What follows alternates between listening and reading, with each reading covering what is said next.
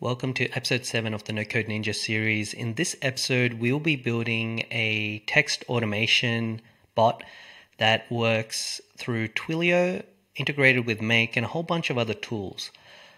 I want to talk about a little bit about the process around how this bot works and what was the context around this bot. So, for me, this context was around appointment setting. And for those who don't know, appointment setting is a service in which you can use to qualify a lead. So in this scenario, I was working with a client and they do fencing solutions. So what they were doing is running a whole bunch of ads and uh, having a whole bunch of leads come into their business. See, the thing is that they just don't have enough time to call every lead and we need to verify the quality of each lead. So we built this bot and it works really simply. So what I'm going to do in this video is I'm going to just showcase the process, the individual tools, the setup that I went through, and then I'll probably end up with a demo of, of it working so you can have a look at that. And if you have any questions about how this works, then just leave them in the comments and we can address them. So let's just jump into it, right? So basically, these are the questions that the text bot is going to talk about when we get a specific lead coming through.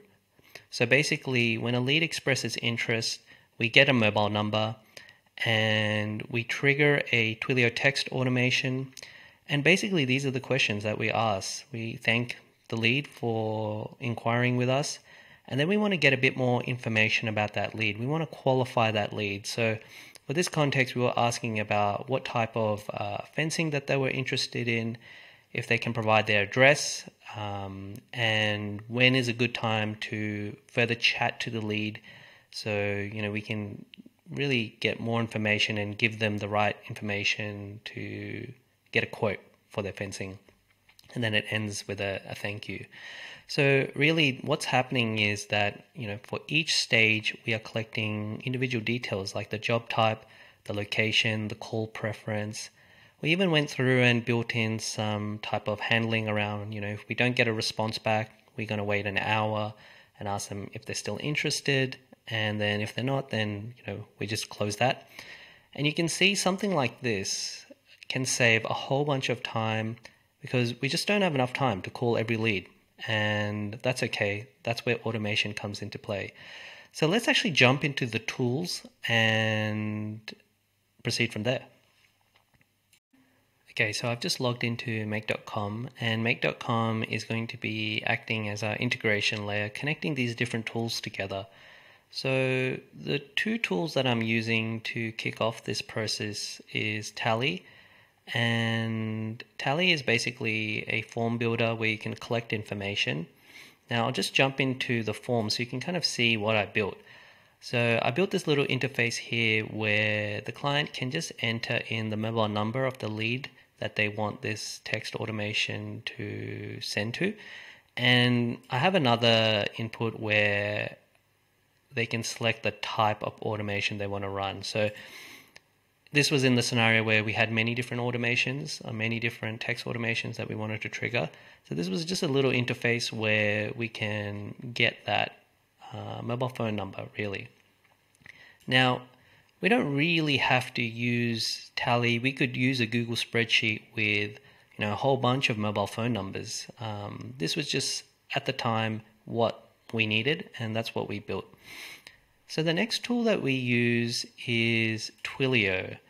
Now, I just want to talk about Twilio and how awesome it is. It's a great tool if you're looking to do anything related to voice, anything related to SMS, and it's kind of like a SMS voice platform that is powered by some pretty powerful technology which allows you to just give you a lot of flexibility when it comes to your requirements and building unique types of applications and workflows.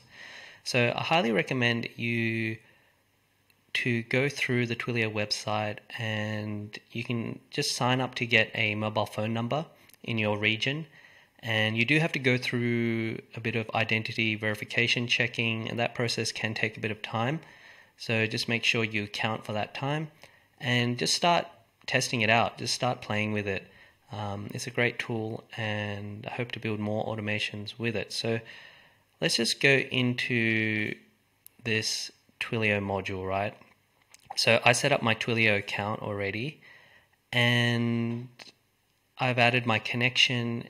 And what will happen is when you begin to use a functionality called the Studio, the Studio is this and it's where you set up the individual messages for the SMS uh, voice bot.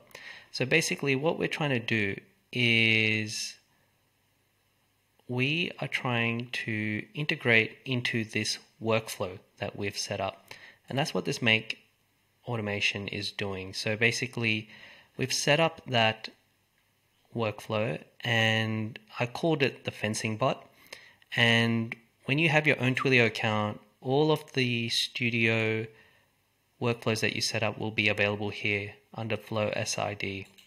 So you select your specific flow that you want to trigger, and then you want to enter who you want to send these messages to. So you would have seen that we are collecting that from Tally. From that front end, we want to trigger those messages. And we've got the from address, which is your Twilio phone number and that's pretty much it. It's pretty straightforward to set up this uh, to set up this create an execution module. So what that's going to do is it's going to just send that number to our Twilio execution in this studio. So let's now just jump in and dive into the Twilio studio. Okay, so this is the Twilio Studio, and this is where we've set up our individual messages and our workflow. So you can see that this starts off by a REST API, and this is the flow name, which was the fencing bot. That was the SID that we had in our make module. And then we've got a bunch of URLs here. And this is um, when we set that up in make.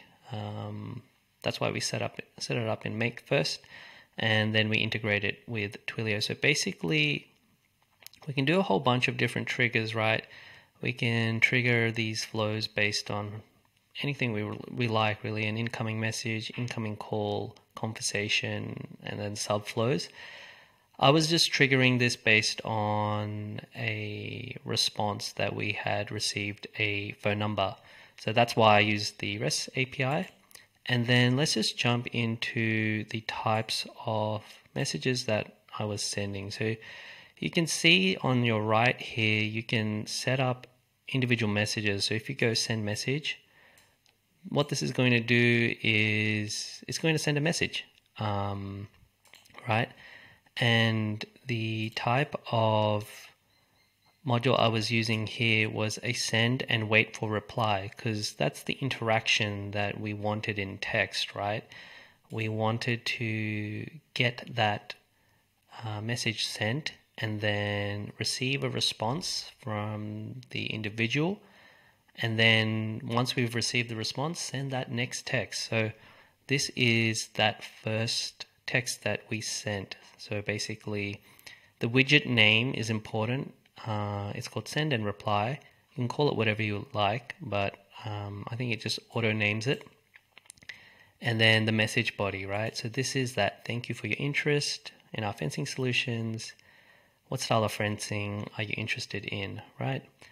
And you can do things like um, have some timeouts and exceptions and that kind of thing. Um, in the beginning of the flow, I talked about you know in the scenario where we don't we get no reply. You know what what can we do, right? So, and this is where Twilio you can kind of set these rules and these exceptions. So basically, if there's a no reply, we're going to send out this other message, right? And just remind them, hey, are you still looking for fencing solutions? If so, what style of fencing are you interested in, right? And and this is basically how you can set up that alternate flow.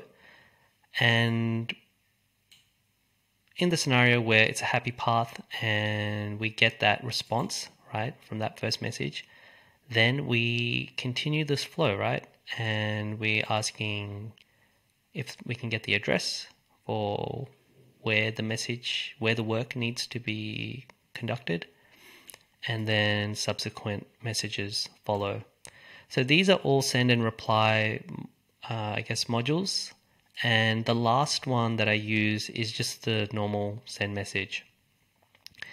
Now, it's great that we've sent all these messages and we've got all of these uh, replies from our individual customers. What we want to do is we actually want to collect the responses from our customers, right? And that's why at the end of this, I set up a post request to post all that information from all of those widgets where we collected those responses to a make module, right? And I'll go through what's happening there in the next step. But let's just have a look at these parameters. So what we did was we've got this post response. We're posting this to another make another make automation. So this is that this is that other make automation. If it loads,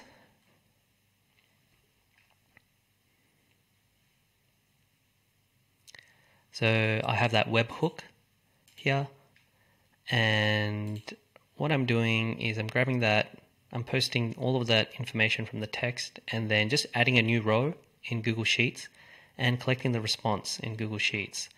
So if we go back to our Twilio Studio, right, we can see that what are we sending with this post request, right? We're sending those individual modules and the information that we receive back from each of the modules. So if we go to edit, you can see that this is the structure for how to um, uh, how to get that information for the let's say that fence style. So that was one of the first questions that we asked is you know what type of fencing would you like, and that was the send and reply one um, widget. This is why send and reply 1, right? So that is referring to this, send and reply 1. And and basically what we want to send is the inbound body. So it's just inbound dot body. I think it's a little bit of cut off there. And yeah, that's what we've done. So we've got the we've got each of those widgets. We're collecting the inbound body. So the fence style, right? And location, the time, and all of the information that we need, right? So then at the end of the day, what we get back is a Google spreadsheet where we've got the number of the person giving us the information, the lead information, right? The type of fence style, the location, and I put, I think, the time of day as well. Um, and yeah, that's basically it. It's pretty straightforward. It's pretty simple. Okay, so let's see a demo of this working. I'm just going to enter in the number here and then the automation I'm going to run and I'm just going to hit submit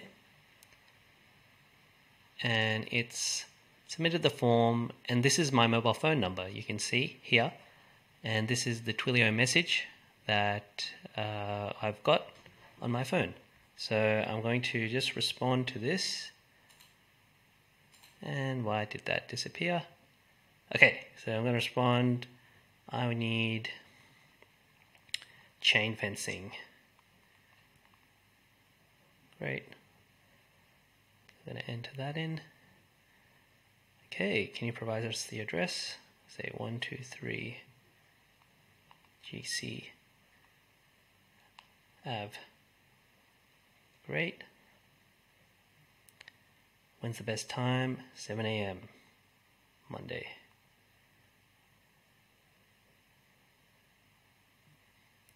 Thank you.